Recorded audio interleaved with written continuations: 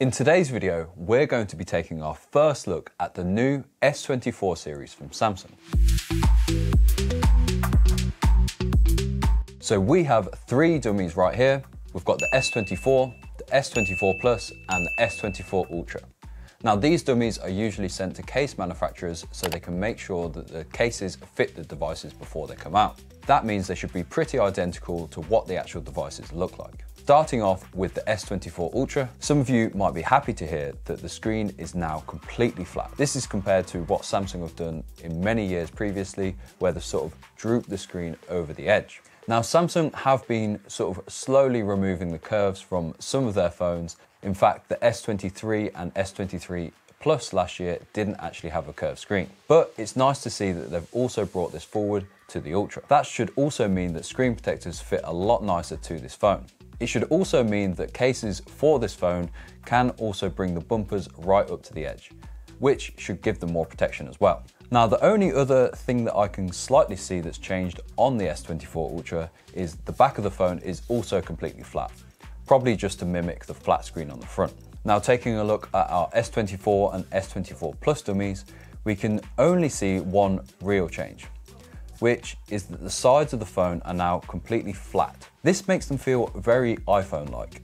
And if you know what they feel like, you either love it or you're not that fussed. Now, a few of the other rumors that we should talk about are that all the phones should come in black, gray, violet, and also yellow. The Ultra model will have a titanium frame, which will also mimic what Apple have done this year for the iPhone Pro and Pro Max.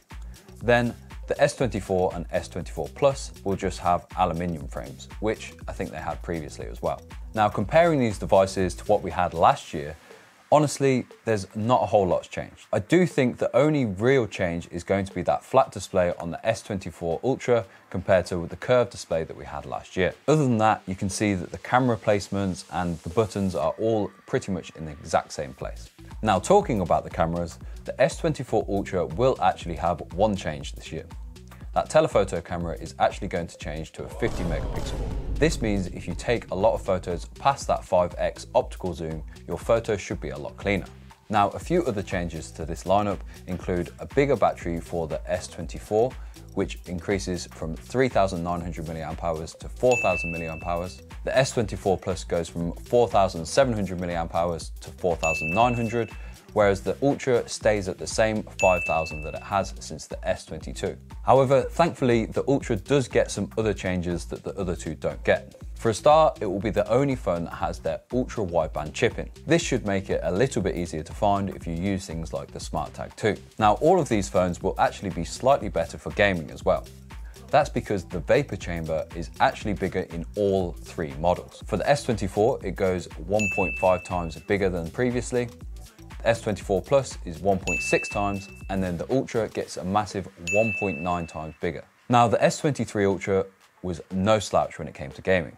So hopefully this means you can actually sustain gaming for a little bit longer and probably get more battery life out of it as well. Now, the other thing that's going to make these phones amazing for gaming is going to be that Gen 3 Snapdragon processor. However, that will only be the case for all countries for the S24 Ultra.